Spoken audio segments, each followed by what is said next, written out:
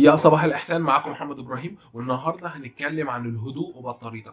عمرك ما دخلت في جدال لفظي مع حد ولما قعدت كده بعد الجدال وهديت لاحظت إن كان في ردود أفضل من اللي أنت قلتها وزعلت قوي إنك ما قلتش ده. عمرك اتفرجت على فيلم أكشن في martial art اللي هي فنون القتال مثلا لبطل بروسلي أو جاكي شان أو جيت لي أو فاندام أو غيرهم كتير؟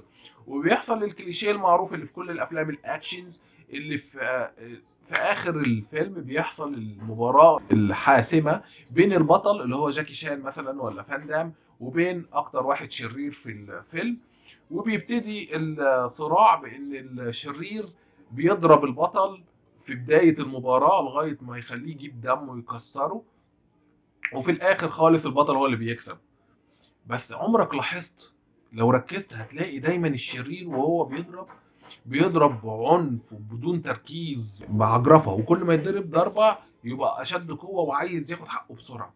في حين البطل اللي هو فاندام ولا جاكي شان حتى لو هو بيتضرب بيرجع بعد الضربة بمنتهى الهدوء بيعمل حركات الكونغ فو أو الكاراتيه اللي هي فيها صفاء ذهني وهدوء وجمع التركيز. إزاي واحد في صراع والمفروض يبقى شادد أعصابه وشادد عضلاته وجاهز للصراع بيعمل حركات كلها هدوء وتركيز ويعني كأنه بيستجم على الشاطئ مثلا. السر الجوهري لاتخاذ أفضل القرارات هو الهدوء. الهدوء. وحط ألف خط تحت كلمة الهدوء.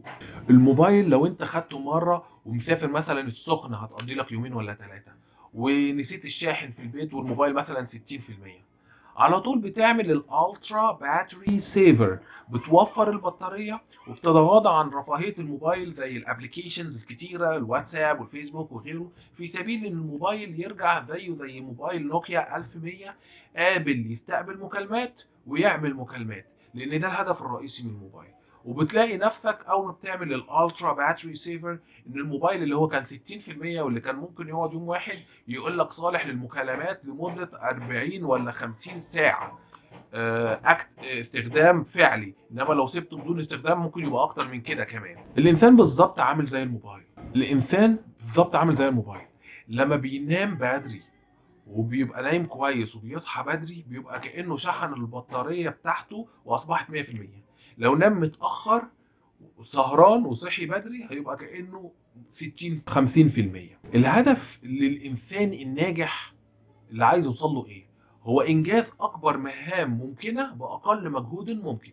مرة تانية إنجاز أكتر عدد ممكن من المهام بأقل مجهود ممكن. أنت عمرك شفت رئيس جامعة أو عميد كلية أو دكتور أو جراح كتير الكلام أو بيتم إثارته بأتفه الأمور أو بأتفه الأسباب أكيد لا.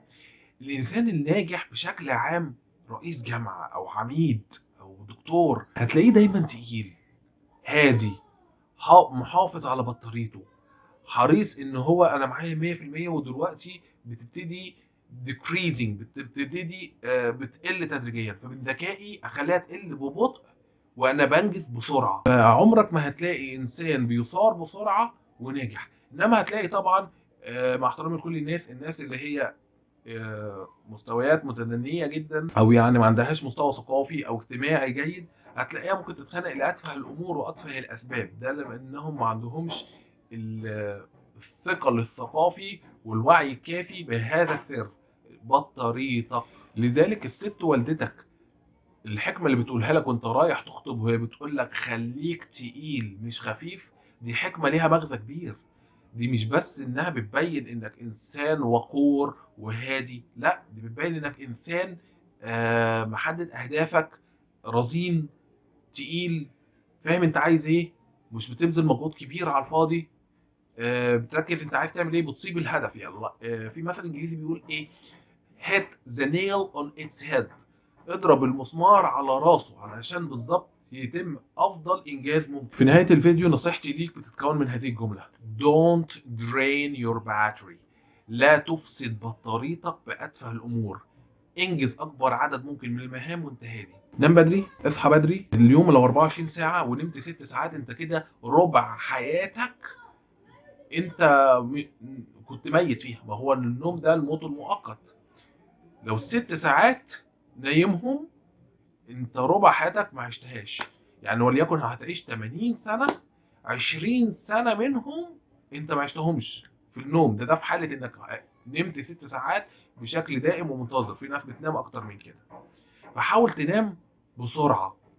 نام بسرعة. هتدور على الناس الناجحين مؤسسين ابلز أو امازون أو علي بابا أو غيرهم.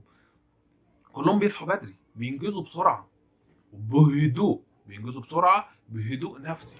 الخلاصة من الفيديو ده انت لما بتصحى بدري بطاريتك 100% ما تستنفذهاش بسرعة واستنفذها بحكمة وبهدوء وبروية ودايما ادعي اللهم اشرح لي صدري وخليك متقبل الآخر خليك عامل زي الاسطمبة اللي هي بينصهر فيها الأشياء تاخد شكلها. الاسطمبة دي لازم تكون بتتقبل حرارة الشيء اللي هينصب فيها وأكتر عشان لو كانت ما تتقبلش هذه درجة الحرارة ستنصهر هي الأخرى. فخليك زي القالب.